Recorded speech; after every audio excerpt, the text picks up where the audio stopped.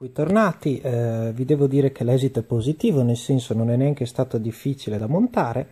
Dentro noi troviamo eh, le istruzioni molto facili e di immediato apprendimento.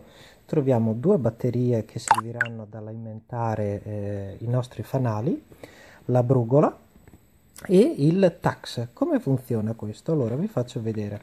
È composto da due pezzi noi come prima cosa dobbiamo andare a togliere il tappino che c'è qui dentro, io l'ho già allentato, lo togliamo e qui avremo un buco, come voi sapete tutti benissimo. Ho messo la mia bici in equilibrio statico. Questo pezzo è composto così, è composto da un maschio e una femmina. Questo deve andare inserito qui dentro, ok? Non lo faccio perché ho una mano sola, comunque va inserito lì dentro ve lo faccio vedere solo perché così capite. Dopo con questa brugola qui all'interno vedete c'è un vite che avvitandolo con la brugola questo va a espansione e permette di non muoversi più.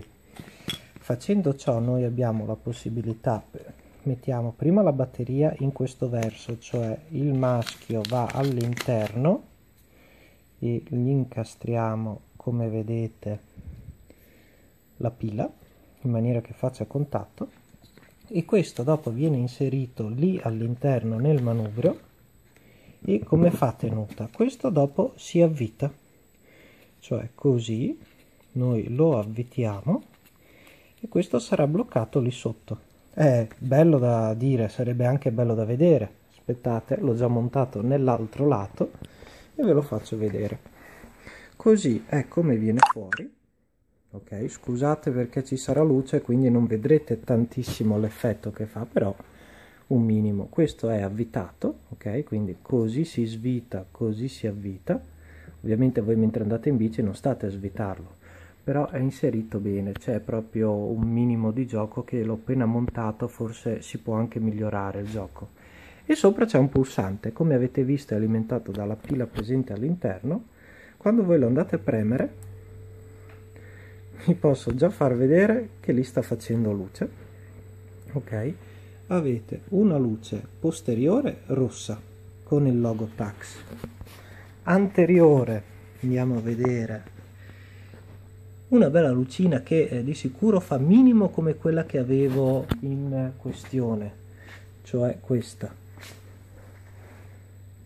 Vedete No, è anche qualcosina di più. Ma la cosa simpatica è che se uno vuole la usa, se no non la usa, ripremendo lo stesso pulsante, un'altra volta, voi avrete la freccia.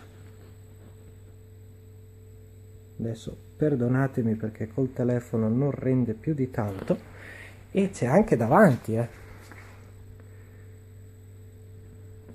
Ah sì, perché non dura in eterno la freccia, tu la premi